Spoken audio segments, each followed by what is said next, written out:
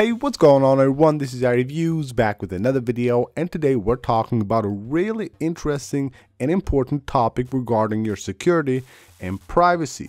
Can you be tracked by AirPods? Well, yes, you can. The simple answer is yes, someone can track you using their AirPods. But of course, you can do something about it and I will show you guys everything that you need to know. Now, first of all, how can you be tracked by AirPods? Well, it's pretty simple. Someone can just place their AirPods on maybe your back pocket or on your car, maybe just one AirPod, and then they can use the Find My app where they they have those devices actually connected to, and using the Find My app, they can track you. But of course, you can protect yourself from that. The way to do that, pretty simple make sure you head on to your settings. This is the first thing that you need to do.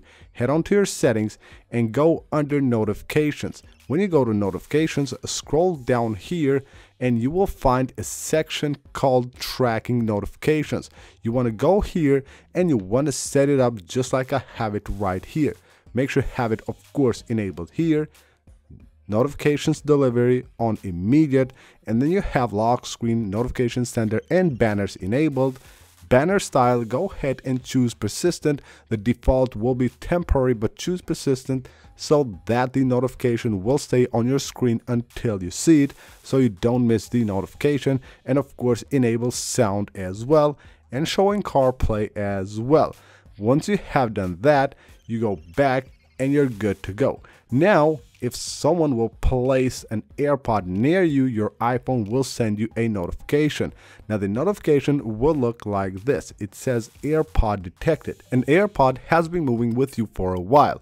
The owner can see its location. You can play a sound to find it.